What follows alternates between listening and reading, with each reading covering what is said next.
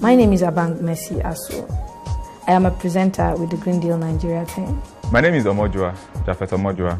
I'm one of the presenters of the Green Deal Nigeria. Azina Mohammed, one of the presenters in Green Deal Nigeria. I have told you that yes, we have oil. I've also told you that our oil is being threatened, not just by the fact that it will finish, by the fact that those that are buying our oil are looking to keep things in their home. To the one with the saloon, the barber, everybody needs electricity. Imagine if all of them had solar panels mounted. Problem solved. And you get to help the environment in the same way. I know this is overly optimistic about Hadiza, but you must imagine something positive before it happens.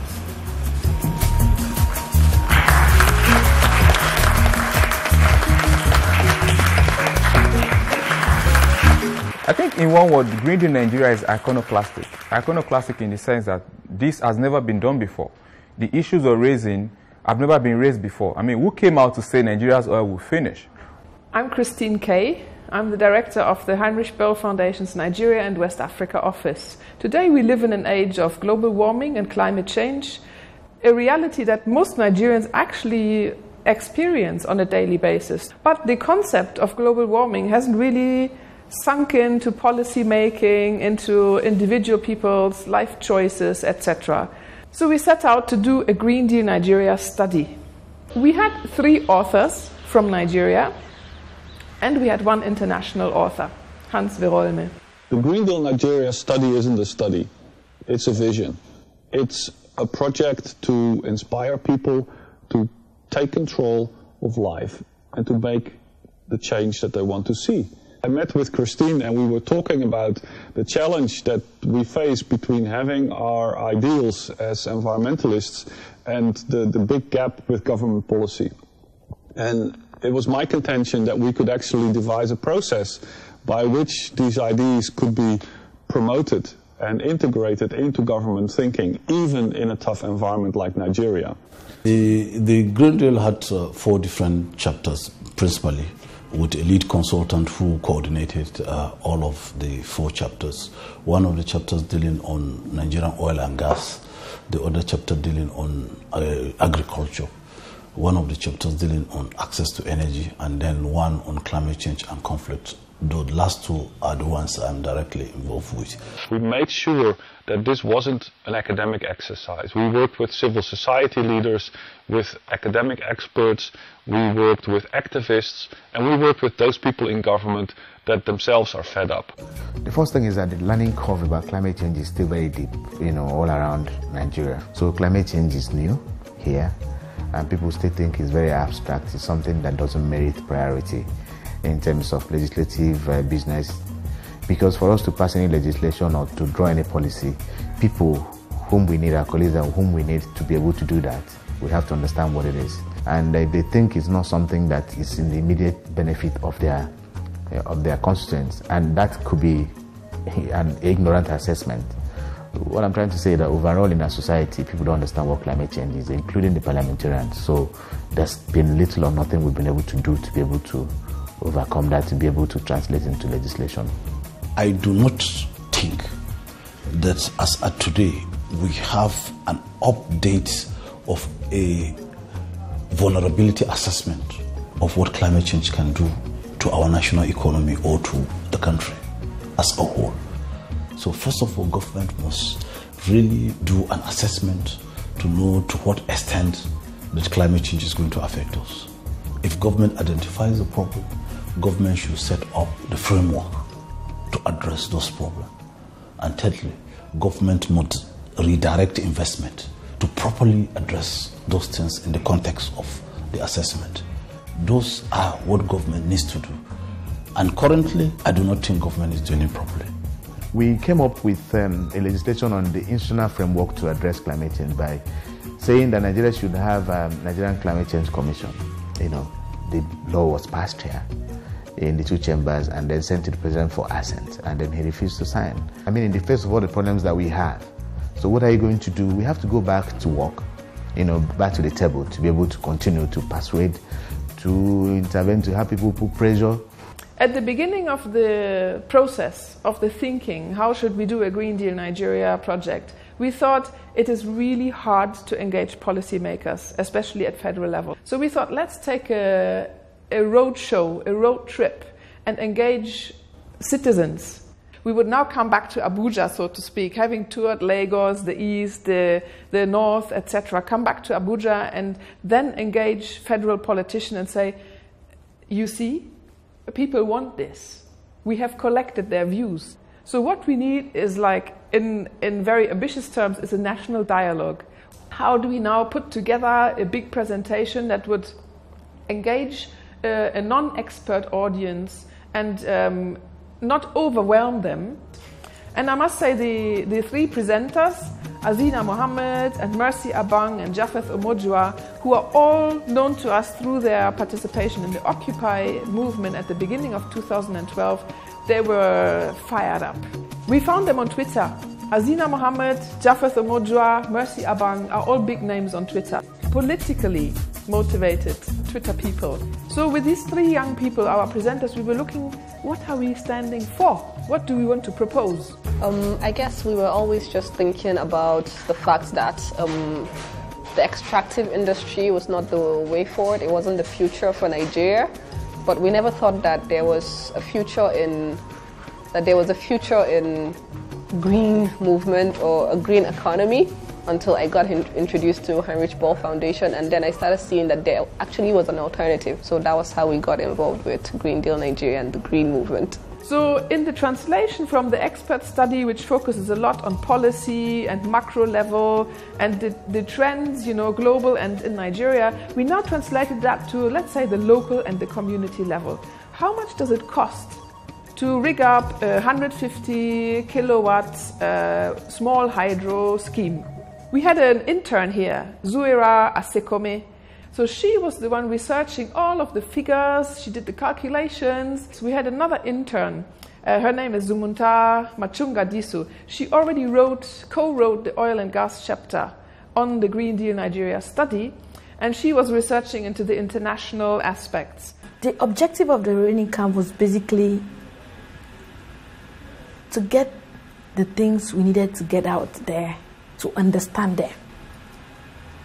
You don't go to the world when you're not, when you lack content.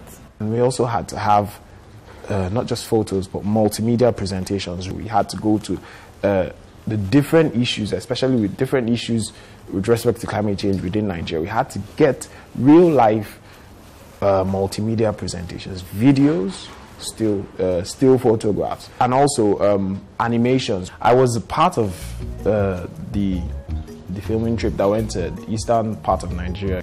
I went to the the place Nanka in Anambra State, and I was in total shock. I had heard of it of yes, there's an erosion problem, and you see, but I had not seen it firsthand. And so firsthand for me, it was like wow. And finally, towards the end of 2012, we were ready um, and we went out with our first presentation after a few rehearsals that we had in the office with kind of a trial audience who said, Oh, it's too long. Oh, you need more illustrations. Um, a call to action at the end. There was a lot of information overload.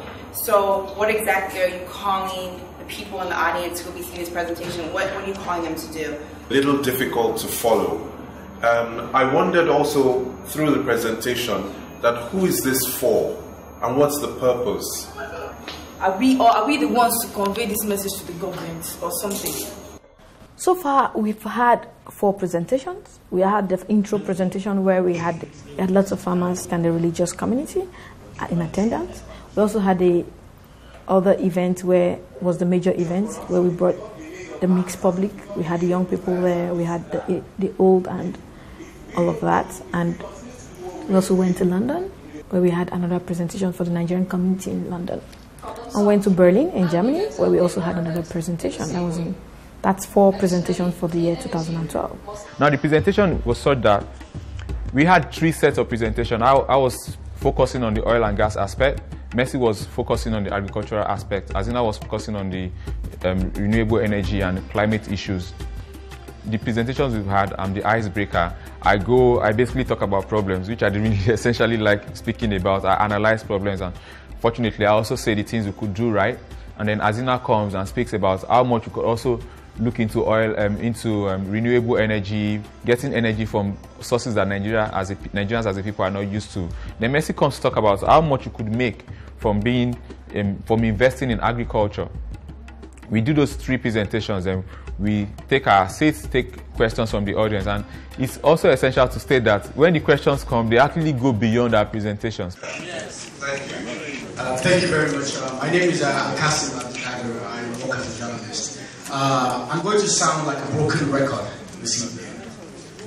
If we don't check. Uh, I saw there were several presentations and um, there were also several videos which made it more more educative. But we're able to see all those on the videos, and you know there were a question and answer segment, and they gave us the opportunity to be able to interrogate them on what they saw in the field. What I liked about the presentation was um, the talk on uh, petroleum. In Nigeria, we generally have this idea that our petrol will never run out, and so this seems to be like the only um, form of um, income in our country. So we use, use, use, and we don't think of other sources of um, energy that we could use. I look on to myself that, ah, must I wait and look for government job? No, from these little things I've gathered, I think if I can start by making use, starting from agriculture. The event was quite nice, and uh, I hope that the organization can go around the country to educate people, especially more at the grassroots.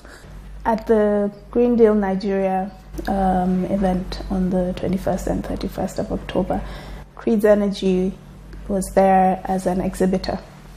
At the beginning, it was more of, um, you know, waiting to see what this would be about. Uh, a lot of people came in and they did go past the uh, exhibition tables, but they were not uh, too keen on looking at what was there and what was on display. Uh, a lot of them came back after the presentations to look at what was available and to ask questions. Uh, we also had a few people come to our offices to inquire more about what solutions we could offer for their specific businesses during the first or second presentation in Abuja, it was the National Planning Commission who invited our Green Deal Nigeria presenters to be part of a review towards the implementation of the national vision, which they call Vision 2020. We've also been invited to the National Assembly to present there because the, in inverted commas, the Poor Climate Change Committee in the National Assembly uh, continues to be called, oh, you the rainmakers. I think when we now go out in the next phase uh, to, to the audiences outside Abuja. Green Deal Nigeria is going on a roadshow throughout Nigeria, various regions and various audiences from market women, students, local politicians to business people, etc. Um, and the presenters are using all the video and other materials to entertain and inform these audiences. And in between the events, the, the presenters who are also in themselves big blogger and Twitter names in Nigeria will maintain campaigns campaigns on the social media, raising issue by issue over a longer period of time. Like if we go to the east of the country, we would have similar uh, mix of audiences, um, but with more even levels of knowledge. And then we will want to work with the local NGOs and local groups who are interested in development they can go on talking about these Green Deal Nigeria messages. So we want to leave a CD and a study and our video clips and all of those materials behind for them to be able to discuss these options, take action, as I said, lo lobby the local governments or the state assemblies or whatever it is, and start monitoring and tracking budget. But nothing will happen until we can see the, the direct effect on the livelihood of the people, until we can see that people have better um, light hours, power hours in their houses from just depend, being dependent on NEPA to having their, able to power their own generator with solar or wind. Until these things become the norm rather than the exception, then our work would not have been done, and I think we can do it.